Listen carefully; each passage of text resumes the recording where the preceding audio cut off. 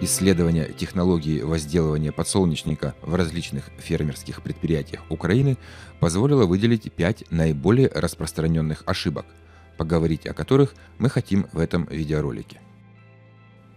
Во-первых, особое внимание нужно уделить выбору посевного материала. Применение отечественных сортов и нерайонированных гибридов приводит к распространению заразихи и таких заболеваний, как фомоз, фомопсис и другие.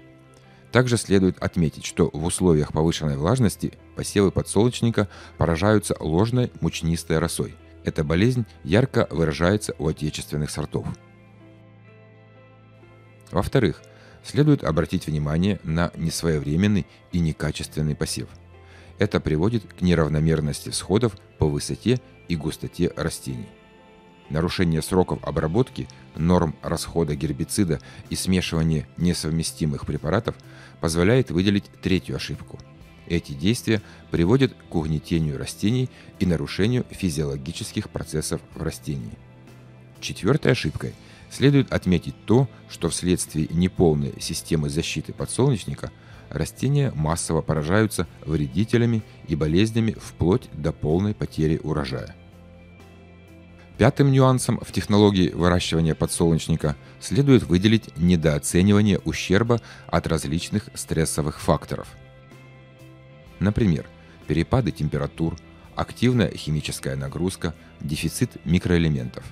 Для снижения действия этих стресс-факторов необходимо применять стимуляторы роста и микроэлементы –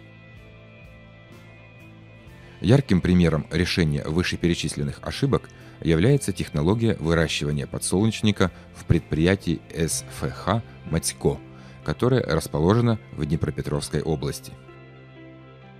Фермерское хозяйство ежегодно высевает более 10 гибридов подсолнечника различных компаний в целях подбора наиболее оптимального гибрида – на данном этапе агроном предприятия остановился на посеве гран-стара устойчивых гибридов компании «Пионер». Гибрид PR64LE20 обладает такими свойствами, как среднеспелый срок созревания, высокая толерантность к новым агрессивным расам заразихи, засухоустойчив. Перед посевом семена подсолнечника обрабатывают инсектицидным протравителем Нуприд 600 – 10 литров на тонну семян с целью предотвращения повреждения вредителями всходов подсолнечника. Посев в предприятии проводят классическим способом с междурядием 70 см на глубину 5-6 см. Нормой высева 60-65 тысяч семян на 1 гектар. Первую обработку по листу агроном проводит в фазу первой-второй пары настоящих листьев – Целью обработки является уничтожение и подавление большинства злаковых и двудольных сорняков.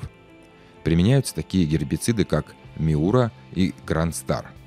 В целях профилактики от дальнейшего поражения вредителями используют инсектицид Канонир Дуо. Последующие две обработки применяются для борьбы с вредителями и болезнями. Следует понимать, что болезни причиняют большой вред подсолнечнику и снижают его урожайность. В севооборотах, насыщенных подсолнечником, одной обработки фунгицидами недостаточно, поскольку заболевания начинают развиваться во второй половине вегетации. При выборе фунгицида следует учитывать, что в некоторых случаях различить заболевание визуально не предоставляется возможным, так как симптомы проявления фомоза и фомопсиса, септориоза листьев и альтернариоза совпадают – к тому же на растениях обычно развивается смешанная инфекция, и симптомы накладываются друг на друга. Качестве фунгицида в предприятии двукратно применяется препарат Амистар Экстра. Это комбинированный фунгицид, обладающий лечебной и профилактической эффективностью против широкого спектра заболеваний. Разнообразные вредители присутствуют в посевах подсолнечника всегда – но в отдельные годы и при определенных условиях тот или иной вид становится особенно вредоносным. Подсолнечник повреждают личинка лугового мотылька, подсолнечниковая шипоноска, подсолнечниковая огневка и другие насекомые. В избежании потерь урожая агроном фермерского хозяйства вместе с фунгицидом применяет инсектицид Канонир Дуо.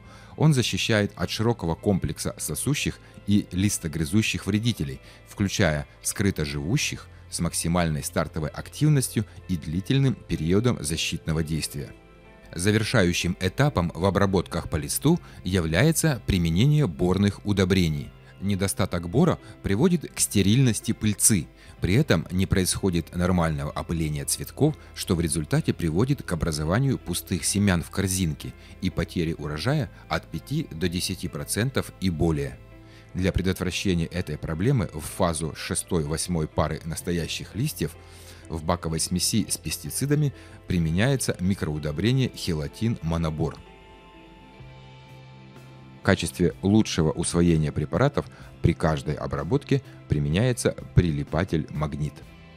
В результате комплексного подхода и современной защите подсолнечника фермерское хозяйство СФХ «Матько» получает на протяжении последних трех лет среднюю урожайность подсолнечника не ниже 25 центнеров с гектара. Для сравнения, средняя урожайность в этом регионе за последние три года составила 18-19 центнеров с гектара.